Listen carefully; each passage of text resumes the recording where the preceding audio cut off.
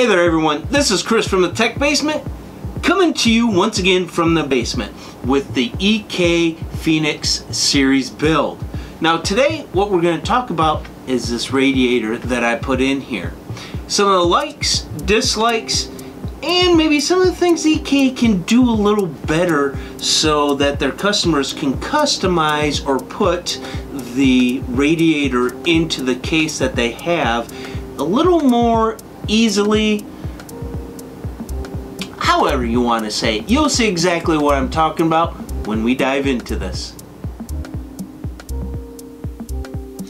Okay, now let's dive into the features here of the 360 Phoenix uh, Rad and take a look at my likes and dislikes of what's going on with this particular uh, item here. So uh, here's your power, no big deal. You have your power power plug here, you put it in just like this, and then you take the end and put it to your your power supply. That's no big deal.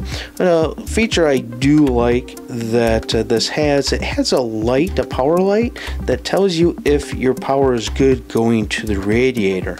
Uh, one of the things I do not like about this is the placement of this. Uh, actually, with my Cooler Master Master Case 5, uh, as you saw in the beginning, it comes up to about right here, so I can't even see this light. So there's uh, there's a design flaw at least for my case, and I can't imagine how many other cases that are out there that may have that because the only way you can orientate this radiator to have your your tubing go in is exactly this way.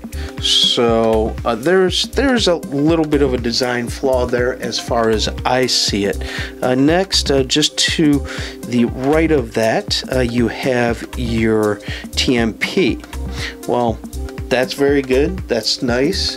Uh, once again, it's on the outside of where this is going to be put, so you're you're wasting a lot of potential uh, cord by putting outside, then having to run it right across here, then into your case itself out to the motherboard.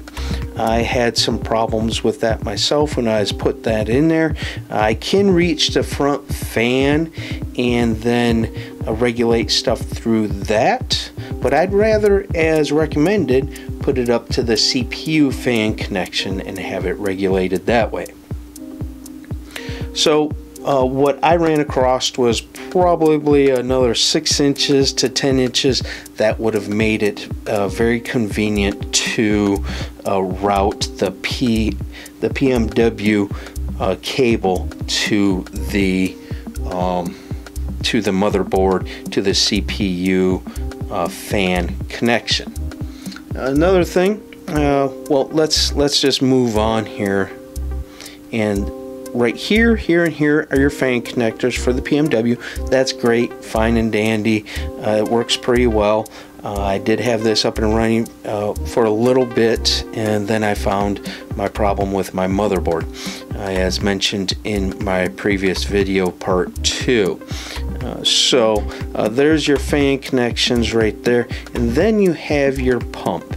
Uh, your pump is regulated by the PMW with your fans for the, for the speeds, but you can also disconnect this uh, from here and connect it to your motherboard. Now here's another thing that I'm not really happy about with this design is that on this rad, if you can see this right here, this screw is a hex screw, which is no big deal. I have hex uh, hex items around, hex wrench to get it off of there, but I have not been able to get them off of there. On this particular one, you can see where I've been trying, and in order to move this, this uh, particular PMW um, connector and put it to the motherboard like they say you can, I have to remove those screws and I haven't been able to get them off yet, but I haven't really pushed it. I'm trying to preserve this uh, build until, you know, later when I may try to modify things a little bit. And when I say modify things a little bit, I'm talking about moving these fans uh, from a pull from inside the case to a push from outside to inside uh, so that I can get some fresh air from outside and do things in that manner. So that's that's my likes and dislikes of this particular rad. I do like the rad a lot. There you guys have it. Real quick overview of the 360 rad uh, from EK Phoenix uh, series and my likes and dislikes about that overview of that. Uh, playing long enough cable for the power that is great. I don't see how anybody can really mess that up. But one of my big things about this uh, rad is that the actual PMW connector not reaching all the way up to uh, the CPU uh, PMW connection.